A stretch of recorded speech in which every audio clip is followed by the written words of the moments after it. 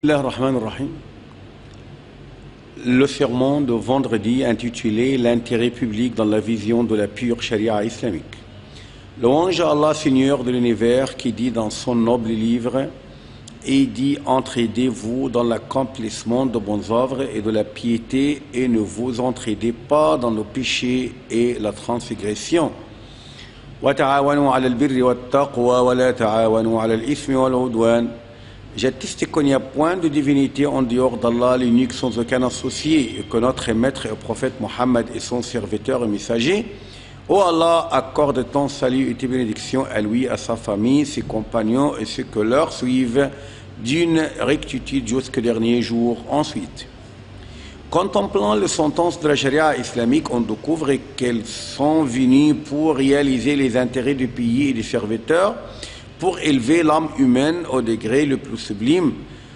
Tout ce qui réalise l'intérêt public est compatible à la charia du pourvu d'un texte sacré, explicite soit-elle.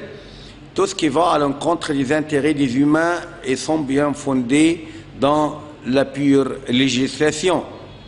Le vrai islam ne reconnaît point ni individualisme, ni égoïsme, ni passivité, ni donner prévalence à l'intérêt privé sur celui collectif. Il reconnaît plutôt l'intérêt public, la donation sincère et l'entraide pour l'accomplissement de bonnes œuvres et la piété, munie de l'affection et de l'altruisme, ce que permettait à la société de réaliser le progrès aspiré et la solidarité désirée à tel point que l'individu y travaille pour l'intérêt de la collectivité. Ainsi se réalisera le bien aussi bien pour l'individu que pour la société et s'ancrera aux âmes des citoyens le sens de même corps dont lorsqu'un membre souffre les autres le consolident que Shawqi soit béni où il dit un pays dans les jeunes mourir pour que nous, nous survivions. Ils partirent au lieu de leur peuple pour qu'ils durent. Celui qui contemple le livre d'Allah à lui, et gloire à lui, réalise certainement que la visée générale et collective de la législation de sentence destinée aux humains est de réaliser leur intérêt par leur faire le bien et l'étude et leur éloigner le préjudice et le mal. Le noble Coran affirme que la protection de l'utilité et la réalisation de l'intérêt public est la méthode de tous les prophètes et messagers. Allah a envoyé chacun d'eux pour apporter le bonheur à son peuple et lui réaliser l'intérêt sans en attendre aucune contrepartie aux utilités de ses bas. Racontant l'histoire de son prophète Noé, Allah gloire à lui dit Ô mon peuple, je ne réclame pour ma mission aucun salaire, mon salaire ne provient que de la part d'Allah. ويا قوم لا أسألكم عليه أجرا إن أجري إلا على الله Pour son prophéthood, il dit Et mon peuple, je ne réclame pour ma mission aucun salaire. Mon salaire ne provient que de la part de celui qui me craint. Ne raisonnez-vous pas وما أسألكم عليه أجرا إن أجري إلا على الذي فطرني أفلا تعقلون Voilà le favori d'Allah, Ibrahim, que le salut soit sur lui. Invoque son Seigneur, gloire à lui, avec recueillement, ce qui montre à quel point il était soucieux de l'utilité collective et de l'intérêt public. Il dit, et quand Abraham supplia, Ô mon Seigneur, fais de cette cité un lieu de sécurité et fais attribution de fruits ainsi que parmi ses habitants auront cru en Allah et au jour dernier. وإذ قال إبراهيم رب اجعل هذا هذا بلدا آمنا وارزق أهله من الثمرات من آمن منهم بالله واليوم الآخر Certes, on entend par la cité et si ses habitants, Ibrahim se plia à leur faveur la subsistance que le ferait se passer aux autres. Une fois que le pays est sécurisé et abondant de ce que subventionne le besoin vitaux, cela aiderait ses habitants à bien obéir à Allah, avec des âmes sereines et des cœurs bien rassurés qui parcourent pour réaliser la visée d'Allah, gloire à lui, euh, derrière la création, à savoir le fait de publier la terre. Allah gloire à lui, dit à ce propos, c'est lui que vous créa de la terre et vous ordonna de la publier. Il ne se met point la corruption sur la terre après sa réforme.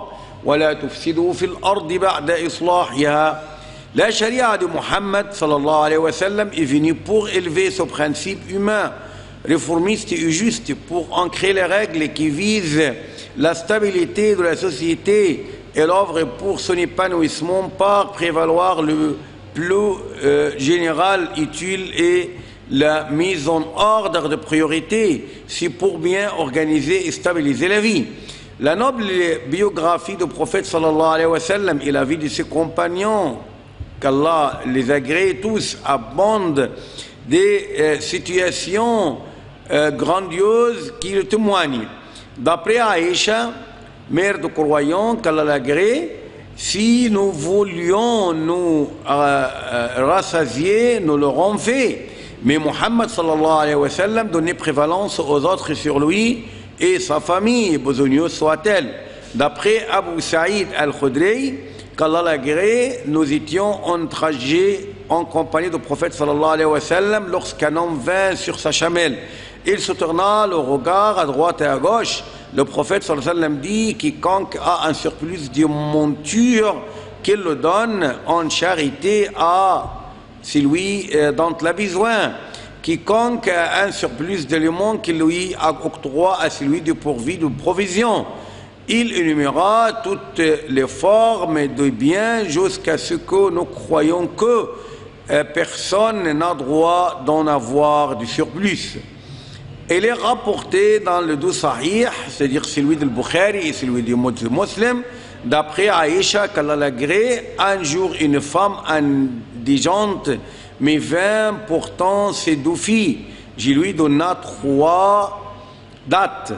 Elle en donna deux à ses filles. Lorsqu'il procéda à manger la troisième, ces euh, deux filles lui demandèrent à les faire nourrir de plus il coupa la date restante en deux parties qu'elle donna à ses deux filles.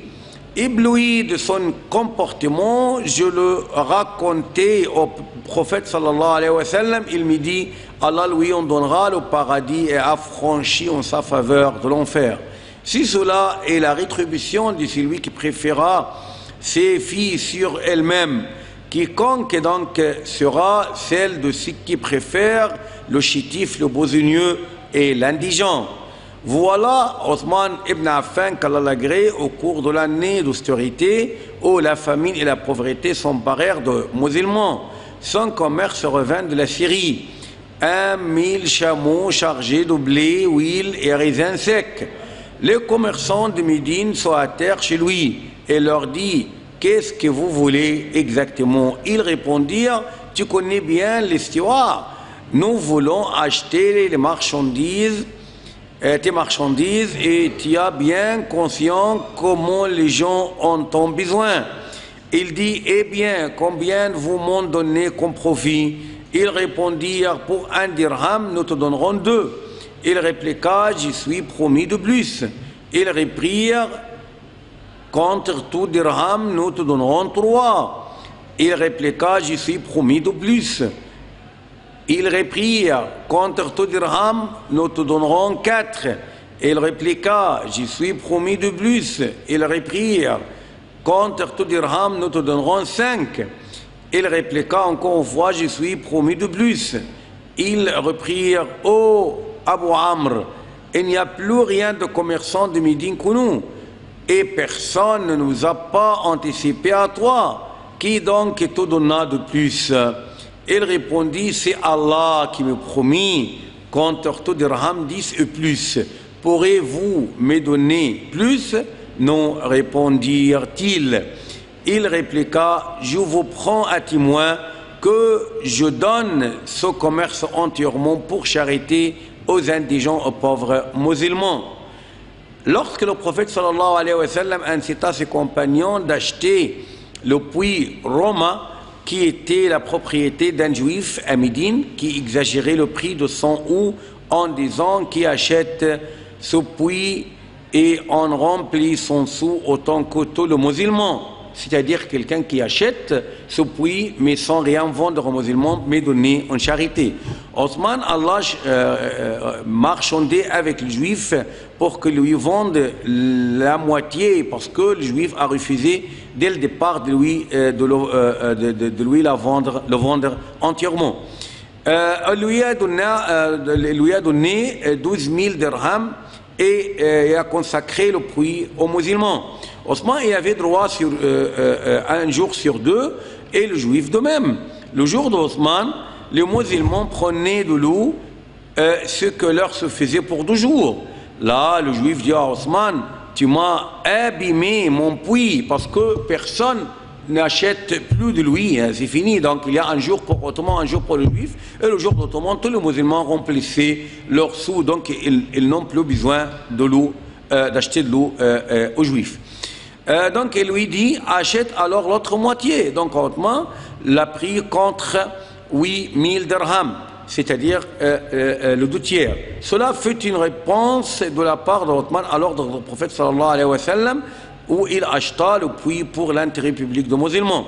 Autant de notre maître Omar qu'Allah la mosquée sacrée devint serrée par rapport au nombre de musulmans. Omar obligea le propriétaire, le propriétaire de maisons du voisinage de la mosquée de vendre leur maison, leur disant, si c'est vous qui êtes venus après la construction de la Kaaba et pas le contraire, c'est-à-dire que vous êtes le hôte de la Kaaba, la Kaaba n'est pas venue après vous.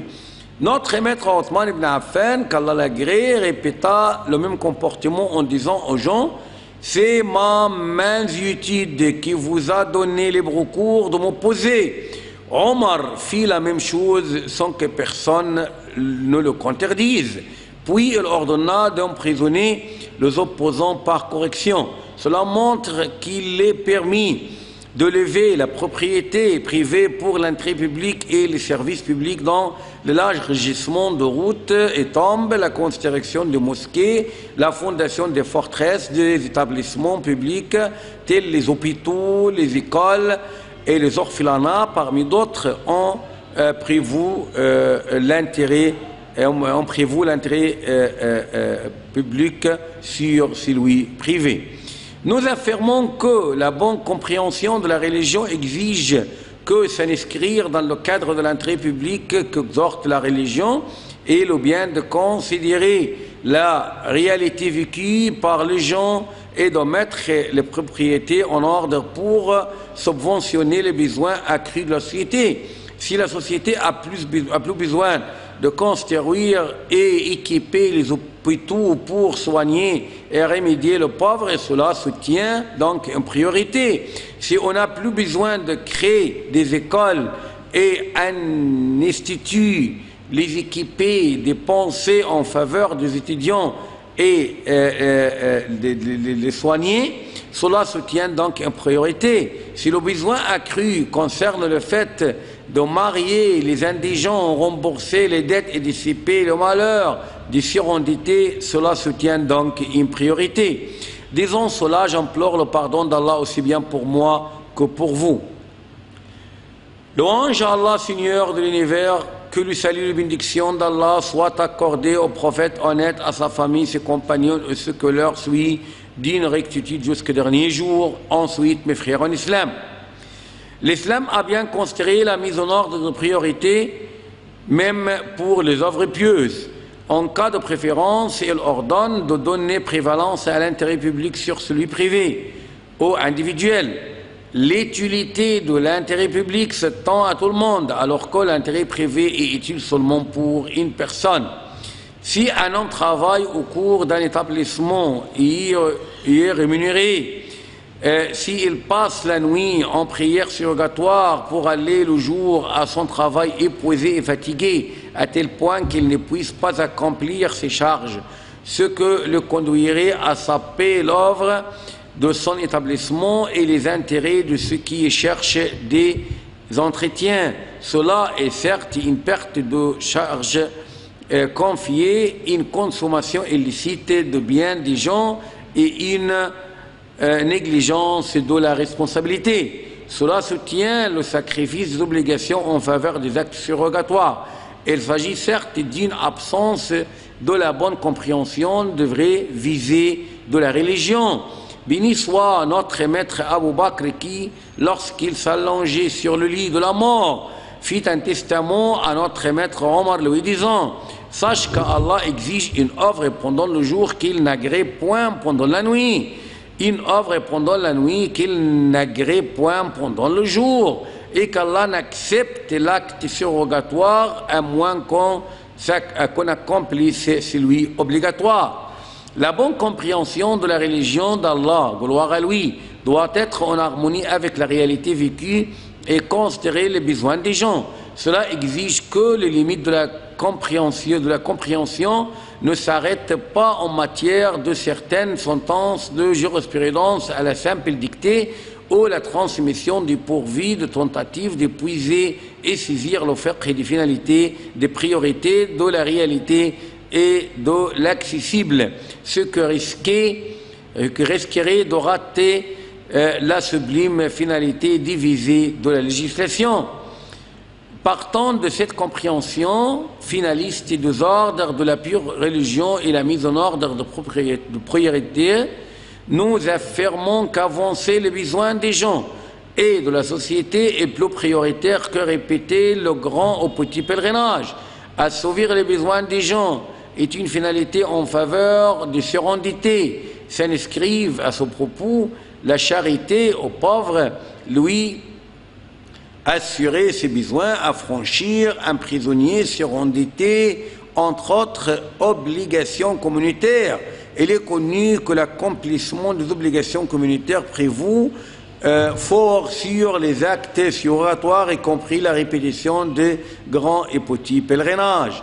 Nous avons très besoin de bien comprendre notre religion et de saisir consciemment notre réalité. Cela est susceptible de nous euh, rendre capables de bien saisir les dangers qui nous entourent et de donner prévalence de l'intérêt public sur celui individuel d'une sincérité et bonne dévotion à titre de nous bien soumettre aux préceptes de notre pure religion et dans le but de euh, présenter à notre patrie l'occasion de s'épanouir et de se progresser pour qu'elle atteigne la place appropriée pour lui et ses habitants. Oh Allah, préserve l'Égypte, son peuple, son armée, sa police de ton mal et de ton malheur. Wassalamu alaikum wa rahmatullahi wa barakatuh. Préparé, traduit, présenté par Dr. Kamel Gadal.